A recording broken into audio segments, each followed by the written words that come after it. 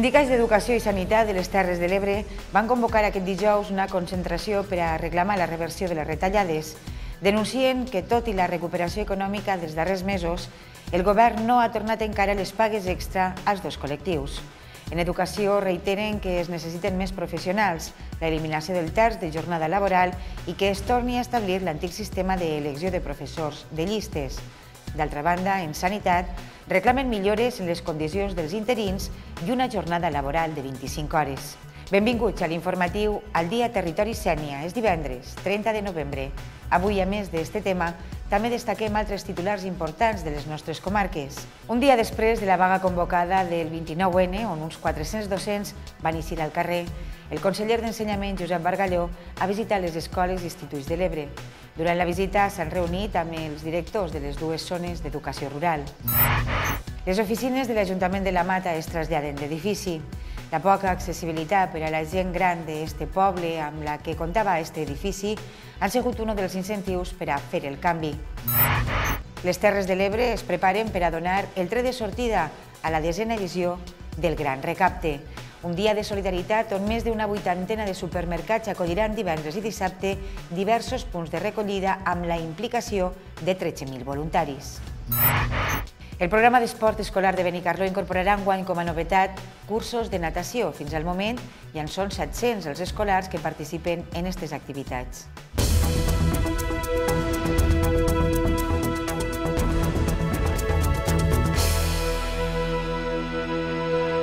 400 professors d'arreu de les Terres de l'Ebre s'han sumat a la jornada de vaga per exigir més inversions en ensenyament i també un canvi en el criteri de selecció de professionals.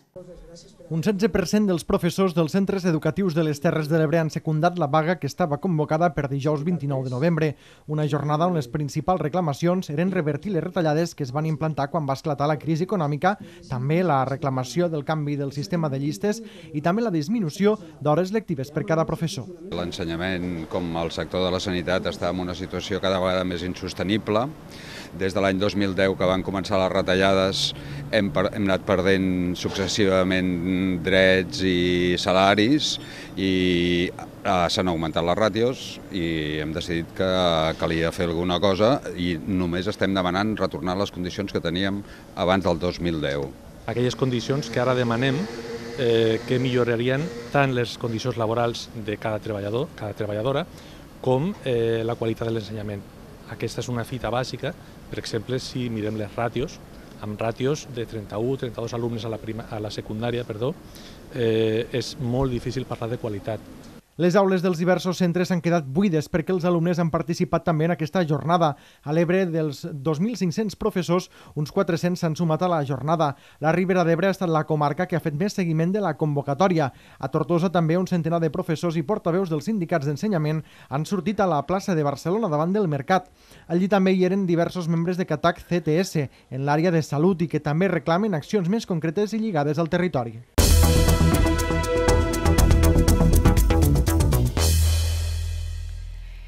Un dia després de la vaga del 29N, el conseller d'Ensenyament, Josep Bargalló, ha visitat les escoles i instituts de Gandesa, Campredó i Aldover. Durant la visita s'ha reunit amb els directors de les dues zones d'educació rural del Baix Ebre i també s'ha reunit amb el director de l'Escola Agrària de Gandesa i de l'Institut Terra Alta.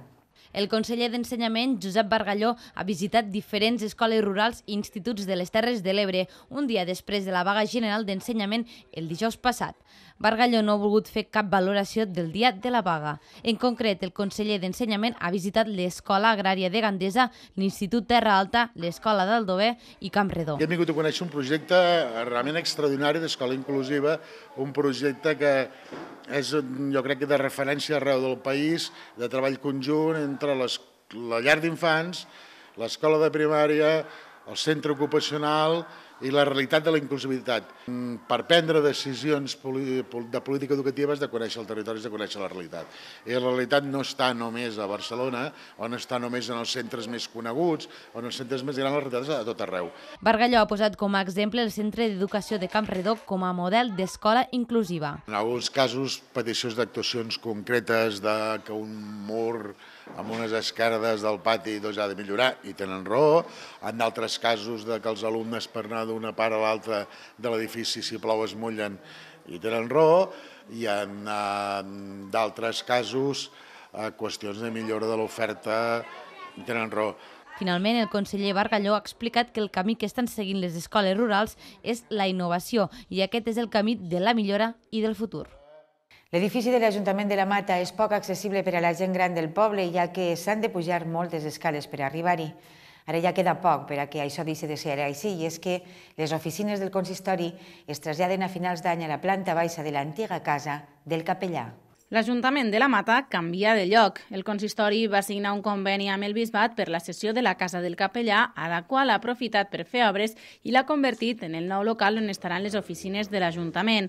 Encara queden algunes obres per enllestir, però el projecte avança a bon ritme. L'Ajuntament, en el seu temps, va fer un conveni en l'Obispat en què ell eh, estava obligat a donar-los un piso i l'Ajuntament se quedava tota la planta esta. El piso de, del capellà el tenim totalment acabat i així estem en les, en les oficines, que l'únic que ens falta ja és baixar tot el mobiliari. La veritat és que és un lloc que ens ha quedat molt bé, la gent major és que li feia falta aquest lloc aquest canvi d'ubicació ja ve pensat des de fa temps per millorar l'accessibilitat de l'edifici. Les obres s'han realitzat en diferents fases que s'han allargat en els darrers 8 anys i que han arribat als 500.000 euros en total, finançats per la Generalitat Valenciana, concretament amb diners de l'IBACE. Aquesta obra portem, en este any serà, farà 8 anys. Tots els anys estem invertint algo per poder acabar això, clar, com tenien un compromís en l'església de, de donar un piso per ells, pues tenim que fer-lo i la veritat és que ens ha costat molt d'esforç fer este, este local. S'espera que per a finals del 2018 o principis del 2019 el trasllat de l'Ajuntament de la Mata ja siga una realitat i es puguen usar les noves instal·lacions. El Consell Comarcal del Baix Ebre condicionarà la via verda en el tram que va des de Tortosa fins a l'Aldea, l'antic traçat de l'històric Carlet de la Cava.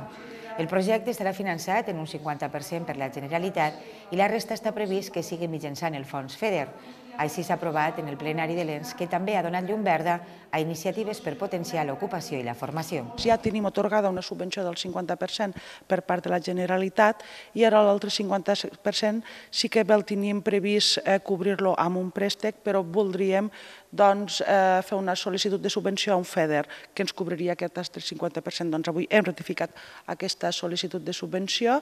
Eh, així també hem, eh, hem aprovat el eh, que ha sigut la sol·licitud de subvenció d'uns 320.000 euros també per eh, al SOC per uns llocs de, de treball i formació, 25 persones doncs, que tindríem un contracte de 12 mesos o 6 mesos de treball i doncs, rebrien una formació específica en neteja i treballs industrials que s'impartirien al Viver d'Empreses, al Baix Ebre Nova de Camarles, i també per a cinc persones amb el que seria també formació transversal. S'ha acceptat també, s'han aprovat, eh, s'ha ratificat el que són els plans locals de joventut, aquests ajuts als plans locals de joventut, amb un import també de, de 42.000 euros. Els alcaldes del Matarranya s'han reunit en un Consell Consultiu celebrat a la localitat de Vallderroures, una reunió en la que s'han destacat dos serveis importants des de la comarca, com són l'escola d'adults i la recollida de residus urbans. La localitat de Vallderroures ha acollit el Consell Consultiu d'Alcaldes de tot el territori del Matarranya, una reunió en la que s'han posat sobre la taula dos serveis principals que s'ofereixen a tota la comarca. En primer lloc, s'ha parlat del servei d'escola d'adults que ofereixen els 18 municipis i que, com a novetat, enguany compta amb menys subvenció per part del govern d'Aragó. El problema que tenim al món rural és que són poblets menuts, tenim desplaçaments, els professors s'han de moure, eh, hi ha professors que estan a 3-4 pobles i per tant això és un increment eh, a nivell econòmic i també un increment d'esforç de, per part dels professors i creiem que això s'hauria d'estar valorat. Per una altra part, també s'ha fet una valoració del sistema de recollida de residus urbans, que compta amb dos plans, el sistema porta a porta i el Dunkin contenidor que només s'està duent a terme a la localitat de Queretes. Creiem que estem en un, en, en un moment de que bueno, s'ha d'apostar per un sistema o un altre. Eh, hem comprometut que, que a primers de maig tindrem ja més concret el que és el cost i a partir d'aquí entenem que la nova corporació del nou Consell Comarcal haurà de decidir ja per, per si s'agafa un, una opció o una altra, se fa una combinada o a veure què es fa amb el tema de, de, de la recollida de, de la RSU, perquè L'any 2020, els pobles de més de 5.000 habitants han de reciclar el 50% i l'any 2022 els pobles de menys de 5.000 habitants eh, també ho hauran de reciclar i per tant s'ha de buscar una solució. Ara, una vegada obtinguts i valorats els resultats, s'haurà de prendre quin sistema de recollida de residus s'ha d'implantar a la comarca del Matarranya. La desena edició de El Gran Recapte ja ha donat el tret de sortida a les Terres de l'Ebre. Més d'una vuitantena de supermercats acolliran divendres i dissabte diversos punts de recollida amb la implicació de 1.300 voluntaris. La participació d'alumnes d'ESO com a voluntaris i les bosses reutilitzables són dues de les novetats d'enguany.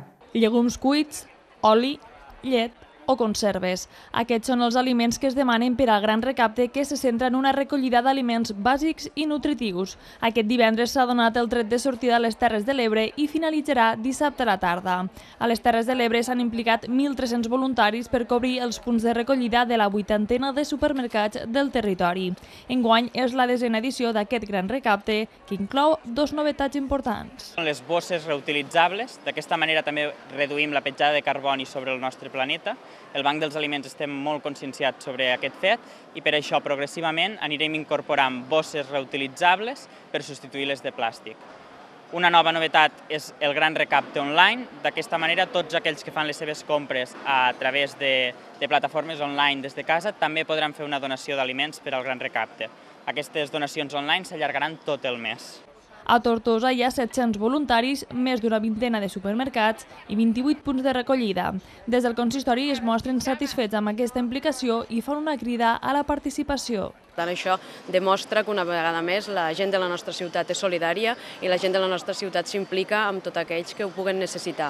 A més a més, com sabeu, eh, nosaltres tenim la, aquesta campanya que ens sumem al que fa el país, a la que es fa tot el país, però també tenim la que es fa la primavera, al mes de maig. Per tant, una vegada més, eh, recolzar-vos, donar-vos suport per part de l'Ajuntament, perquè entenem que, que la feina que s'està fent és molt bona feina per tal d'ajudar els que més ho necessiten. Una altra de les novetats d'enguany ha sigut la participació d'alumnes de sisè de primària de l'Escola del Temple de Tortosa com a voluntaris. Forma part d'un projecte que també inclou la visita al centre on es fa la distribució dels aliments recollits per tal de mostrar la realitat social del municipi. Abans d'arrencar amb la Diada Solidària del Gran Recapte, furgonetes de la Creu Roja i cotxes particulars dels membres de Càrites se van equipar amb tot el material necessari per afrontar un llarg dia. Bosses, capses i palets són transportats als diferents supermercats de les Terres de l'Ebre que participen en esta diada per a poder abastir totes les donacions d'aliments. A les acaballes del dia anterior del gran recapte, els voluntaris i membres del Banc dels Aliments de les Terres de l'Ebre van acabar de polir els preparatius per aquest divendres. Bosses, capses de cartró, palets, entre altres materials, es van preparar per arribar a primera hora als diferents supermercats del territori ebrenc que participen en la recollida d'aliments. El delegat del Banc dels Aliments de les Terres de l'Ebre, Josep Maria Manresa, va lamentar que continuïn fent aquesta tasca solidària i va afegir que ningú hauria d'estar en situació de pobresa. Bé, és, és ben sapigut, sapigut que en les estadístiques oficials de Generalitat l'àrea de Catalunya més pobra és la nostra. Per tant, això no és que ho diguem nosaltres, és que és, és fàcilment constatat a nivell d'estadístiques oficials. El que és cert és que tot el que recollim s'entrega i s'aprofita. Pel que fa a l'ampolla, la situació de les persones que necessiten la donació d'aliments ha canviat. Hem de dir que eh, molta de la gent que venia a Càritas no ve, no ve ja, eh, estem sortint d'una situació realment apuradíssima i es nota una certa recuperació o gent que ha tornat al seu país. Eh, els mesos que van viure els anys passats van ser molt dolents i d'allò hem sortit. No és que no hi hagi gent que no necessiti ajuda. Durant el gran recapte de l'any passat es van recollir més de 80.000 quilos d'aliments a les Terres de l'Ebre. L'Ajuntament de Morella signa nous convenis amb les entitats del municipi. En este cas, dues d'elles han estat les darreres en fer-ho. Per una part, ho feia la rondalla de Morella, que enguany complís 25 anyets, i per altra ha signat per primer cop el conveni amb l'Ajuntament el Club Ciclista Piño Fijo.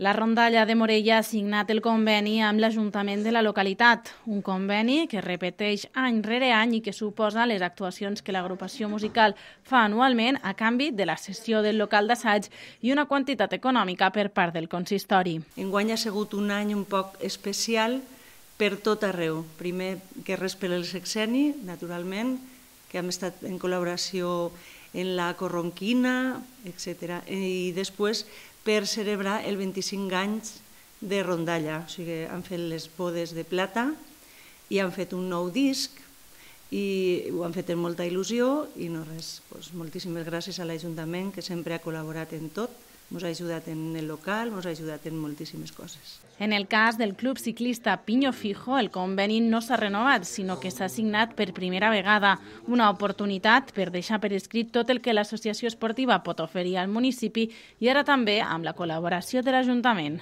Nosaltres intentem fomentar la pràctica del ciclisme tant d'ací dels veïns com dels visitants i també en el, el nostre ciclar per les sendes i camins, intentem mantenir-les en bon estat, eh, pues, tallar rames o fer, tite, eh, fer petites actuacions com taure pedres i també podem col·laborar en esdeveniments esportius que puga organitzar l'Ajuntament o directament organitzar-los nosaltres. Amb aquests convenis, l'Ajuntament de Morella assegura més activitats esportives al municipi i mantenir la música tradicional de la mà de la rondalla. Solidaritat Catalana per la Independència de la Ràpita, de moment, és l'únic partit que aposta per les primàries obertes que promou la ANC. El candidat de Solidaritat, Àlex Cervera, repeteix com a cap de llista. Durant l'assemblea local es va revalidar la confiança en l'actual regidor d'Ensenyament i portaveu del partit independentista. Àlex Cervera repeteix com a cap de llista de Solidaritat Catalana per la Independència a la Ràpita.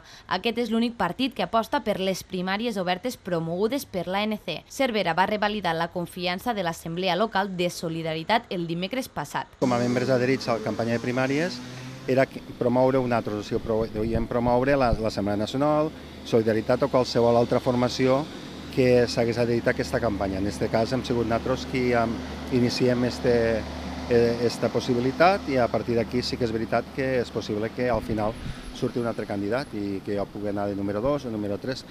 Això sí, podrà votar qualsevol persona del cens electoral. L'actual regidor d'Ensenyament està segur que si surt com a cap de llista per solidaritat a les primàries obertes del pròxim 2 de febrer tornarà a pactar amb Esquerra Republicana o amb qualsevol partit independentista. Eh, nosaltres estem oberts a pactar amb qualsevol formació independentista, això sí, eh, pensem que és clau, i no podem pactar en qualsevol partit que hagi donat suport per exemple, el 155, que ens presentem per a treballar pel poble, però este punt crec que és primordial a l'hora de fer els pactes. Sí que vull dir que sí que ens hem sentit molt còmodes en l'equip d'Esquerra Republicana durant este govern. I per... Àlex Cervera ha estat regidor de la Ràpita durant tres mandats consecutius per Unió, Ebrencs Independents i Solidaritat Catalana per la Independència. Tortosa rebaixarà el preu del transport públic per a les persones majors de 65 anys. També recolzarà i s'adherirà a la taula per a la regressió i mantindrà el preu dels serveis municipals d'aigua potable i clavegueram.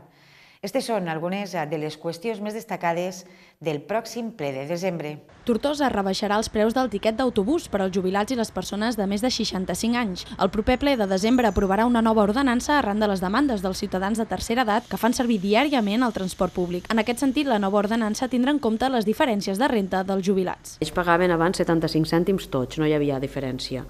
Nosaltres vam creure que eh, no, era el mateix, no, no, ha, no és el mateix un jubilat que tingui una renta, uns ingressos, que, que un altre que no en tingueu, que en tingueu uns de molt petits, no? i per tant vam fer això, vam, ter, vam, vam apostar per aquella gent que més ho necessita de baixar-ho de 75 cèntims a 40 i els altres, els que tenen uns ingressos per sobre de l'IRSC de l'1,5, tenen a 70 cèntims, va passar de 75 a 70. L'únic que fem ara és treure el topall. D'altra banda, el consistori tortosí aprovarà la modificació del projecte i del contracte d'obra de la construcció del complex esportiu de les piscines. Un altre punt és l'aprovació de dos ordenances de prestacions patrimonials de caràcter públic no tributari. Pel que fa al servei d'aigua potable i clavegaram, es congelen les tarifes, el que significa que no augmenta el cost. És un increment zero de cara al 2019. Tenim present el que ja vam dir al seu moment, que no incrementàvem els impostos i que no incrementàvem les taxes i per tal que no incrementàvem la pressió fiscal al ciutadà. Tortosa, com a capital, també s'adherirà a la taula per la regressió del Delta, on participen ajuntaments del Delta i les comunitats de regants. Al proper ple, els grups municipals presentaran un total de 8 mocions, una d'elles signada pels partits independentistes i Movem a favor de l'absolució dels presos polítics. Arriba la desena edició de les Jornades d'Infermeria de les Terres de l'Ebre. Se celebren al campus de la Universitat Rovira i Virgili i enguany les jornades es centren en la humanització de les cures d'infermeria amb l'objectiu de posar en valor l'atenció en les persones. La desena edició de les jornades d'infermeria a les Terres de l'Ebre aplega més de 100 inscrits i 171 comunicacions científiques els dies 29 i 30 de novembre, unes xifres que denoten la importància de tractar el lema de les jornades d'enguany, la humanització de les cures d'infermeria a les Terres de l'Ebre. Un dels objectius és aquesta atenció centrada a la persona, que sempre parlem, i que la humanització, com no pot ser d'una altra manera, afegeix i és este valor eh, diem-li afegit, inherent, però que s'ha de tindre molt en compte i al final és el que aporta qualitat a l'atenció i un dels objectius ha de ser el poder millorar l'atenció de totes les persones. Tal com destaca l'alcaldessa de Tortosa, Meritxell Roger, es tracta d'un esdeveniment a ressaltar, donat que des del consistori tenen molt present la importància de la salut. L'Ajuntament de Tortosa està molt implicat amb la salut i, per tant, el fet de que, a més a més, hi hagi aquesta xarxa tan ben organitzada que porta a terme aquestes eh, jornades amb més de 100 inscrits i, i 171 comunicacions científiques fa que, que avui estem molt contents i molt satisfets de, del que s'està portant a terme avui a la nostra ciutat. Tot i que la humanització de les cures és un dels reptes actuals dintre del món sanitari, aquest ha estat un dels eixos centrals de la disciplina infermera, tal com comenta la presidenta del comitè organitzador de les jornades, Dora Casador. Ho tenim tots clar com a infermeres perquè la nostra disciplina mos ho marca, però realment segurament que posarem més en valor projectes que estem fent aquí i els donarem a conèixer i els ponents que venen fora ens ajudaran a, també a donar-li més d'impacte a tota aquesta part de la humanització. Proveïdors de salut del territori, ponències professionals del sector i futurs professionals celebren aquesta desena edició a la Facultat d'Infermeria de la Universitat Rovira i Virgili. Una de les novetats d'enguany és el concurs fotogràfic sobre les cures infermeres. A Morella, el darrer pas previ per a l'inici de les obres en el centre de salut està ja quasi completat. Des d'avui mateixa s'atenen els pacients en les dependències provisionals instal·lades a l'edifici del CISE. Aquest trasllat és una condició indispensable, ja que les obres impediran el desenvolupament d'activitats mèdiques. S'ha tingut que fer obra a l'edifici del CISE per adaptar-lo a les necessitats dels professionals sanitaris. Amb aquestes modificacions, l'espai està en disposició d'albergar tota l'activitat del centre de salut. Així lo que ens passarà és que estarem més pretos. Val? Tenim, tenim menys espai, encara menys espai que en, el, que en el centre. Una de les raons de fer reformes en el centre de salut és que ja teníem que estàvem faltos d'espai i ara sí encara estarem una miqueta més pretos però continuarem tenint les quatre, consultes, les quatre infermeres treballant, eh, tindrem eh, los dos metges, l'Oles i, i Frank, tindrem eh, a Pilar, la pediatra, els tres dies a la setmana i cada 15 dies quan vingui la matrona i cada 15 dies que vingui el, el psiquiatre. El personal del centre de salut demana paciència en el que serà un gran canvi en les rutines i procediments del dia a dia, però també assenyala que aquests treballs són vitals per a la supervivència de l'espai. El centre de salut és de l'època dels 80, en els 80 eh, hacia Morella no venia el psiquiatre, no venia la matrona, n'hi havia una infermera menys i, i mos hem donat compte de que en el pas dels anys mos hem quedat, mos hem quedat pretos d'espai. A banda també era necessari fer accessible el primer pis. Penseu que la consulta del, de l'odontòleg del dentista no tenia, no era accessible, penseu en gent que va en cadira de rodes, gent que té dificultat per pujar escales no podia pujar. En la reforma que faran, una de les coses que faran serà fer accessible tota aquesta zona mitjançant un, un ascensor. S'espera que les obres del Centre de Salut de Morella duren entre 6 i 7 mesos. El centre provisional funcionarà el mateix temps. A partir d'avui, Morella tornarà a lluir un màgic enllumenat nadalenc en una vesprada que ja s'ha convertit en una autèntica festa per als veïns i veïnes de la localitat i també per als visitants. En la darrera setmana s'han intensificat els treballs que ja van començar a meitat mes. Estos dies també els comerços han començat a vestir les seves tendes arrodonint la decoració nadalenca per tota la zona comercial. L'Associació d'Empresaris Turístics ha continuat ampliant els motius nadalencs que reparteix tots els anys entre els seus associats per a que la decoració seguisca un mateix estil. Enguany, es tracta d'un arbre despullat amb l'abric de la neu i les llums de Nadal i completat amb l'estel de l'associació a Sant Mico.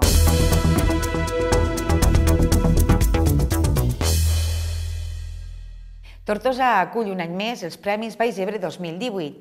Es premia a les millors iniciatives dutes a terme en la comarca en els àmbits de l'emprenedoria, solidaritat, projecte jove i fotografia de la gent gran.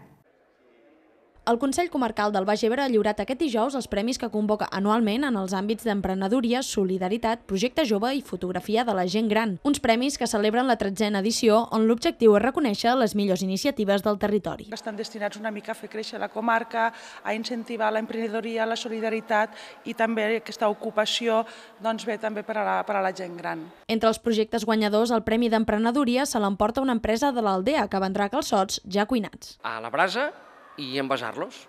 Envasar-los al buit, en bandejetes d'alumini, uns safates d'alumini, que després tu precalentaràs el forn, el posaràs al forn i en 10 minuts, un quart, ja podràs disfrutar de, d'una calçotada a casa teua. Un altre projecte destacat ha sigut el que ha guanyat el Premi a Projecte Jovet 2018 amb Imperfectes, una iniciativa de les germanes Esther i Olga Basolí, que se centra en els cànons de bellesa actuals i s'adreça als joves del territori. És una exposició taller, portem per instituts, fem un recorregut per tota l'exposició explicant una mica quin és el cànon que s'imposa. Després desmuntem una mica per què està este cànon a la societat, que és un rotllo consumista total. El Premi a la Solidaritat se l'emporta l'Associació Esportiva Jordi Pitarque Ceprià, una entitat que lluita contra les malalties cardiovasculars amb la intenció de convertir el Baix Ebre en un territori cardioprotegit. Estem treballant molt en persones amb discapacitat, tant intel·lectual com física, i estem ajudant la seva integració dins la, el món de l'esport. Finalment, el primer premi de fotografia a la gent gran ha estat concedit a Raimon Ventura per la fotografia titulada Pescant a l'Albada, un premi que l'autor considera satisfactori per la preparació que hi ha al darrere. Però el món de la fotografia és el que disfrutos, anar a buscar el que vols fotografiar, pensar en l'entorn que vols fotografiar. La participació d'enguany en les diverses convocatòries ha estat elevada a l'anterior, fet que remarca la consolidació d'aquests premis. L'Escola d'Art de la Diputació de Tortosa celebra la primera jornada tècnica sobre fermentar vi en ceràmica. Amb aquesta activitat arranca un cicle sobre ceràmica, innovació i tendències que pretén conèixer nous usos de la ceràmica vers els àmbits de l'alimentació, la indústria, el disseny i la cultura. El vi i la ceràmica han sigut des de sempre dos elements del territori. Des de l'Escola d'Art i Disseny de la Diputació de Tortosa impulsen la unió entre ells amb la primera jornada tècnica sobre fermentar vi en ceràmica. L'objectiu era, eh, ara al segle XXI, explorar, perquè de fet aquesta serà una de les primeres jornades, eh, d'en quina manera a nivell d'innovació i de tendències torna a arrelar el que seria la ceràmica dins de tots els sectors. Esta primera jornada eh, hem abocat el que seria els aspectes més des de la l'alimentació i en aquest aspecte des de l'alimentació hem agafat el que seria l'elaboració del vi. El cicle sobre ceràmica, innovació i tendències pretén aplicar nous usos de la ceràmica dels àmbits professionals de l'alimentació, la indústria, el disseny i la cultura. Per aquest motiu, professionals del sector s'han aplegat a l'Escola d'Art per compartir experiències. Ceràmica em don, per començar, doncs, més respecte cap a la matèria prima, són recipients que no, que no aporten gustos eh, al, al vi, però sí que permeten una microoxigenació amb, amb l'exterior, no? entre el vi i l'exterior una aportació d'oxigen a nivells baixos. La jornada tècnica ha acabat amb un tas de vins a càrrec d'Imma Monclús i Joan Ramon Bada, sommelier i anòleg respectivament.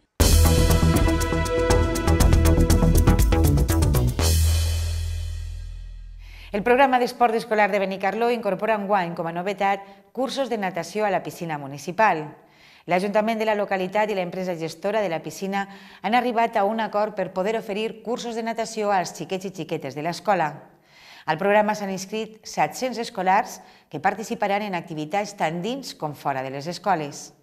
Des de la regidoria d'Esports del municipi han valorat molt positivament aquesta novetat i han assegurat que treballen per a que ja els més menuts agafen hàbits saludables. Este programa eh, suposa un, una, una demanda eh, històrica en este cas de, i una necessitat que des dels centres escolars se venia comentant des de fa anys en el sentit de que se pugui utilitzar la, la instal·lació de la piscina municipal dins de l'assignatura d'educació física en el sentit que, eh, que siguin els propis eh, professors d'educació física els que vagin al, a la piscina en els alumnes, però en resum que puguen utilitzar dins de l'horari lectiu eh, pues aprofitar en aquest cas el recurs de la, de la instal·lació municipal, de la piscina municipal, òbviament eh, gratuïtament. No? És obligació de totes les institucions públiques a tots els nivells facilitar que la, aquesta pràctica de l'esport els ajuntaments com a, com a entitat més propera als ciutadans que som, el que estem creant, sobretot de la, des de la regidoria d'esports de Benicarló, és eh, que de ben, des de ben menudets els xiquets vagin agarrant aquests hàbits saludables. I fins així l'informatiu al dia Territori Sènia. Estes han estat les notícies més destacades d'aquest divendres 30 de novembre. Que passen una bona nit. Bon cap de setmana.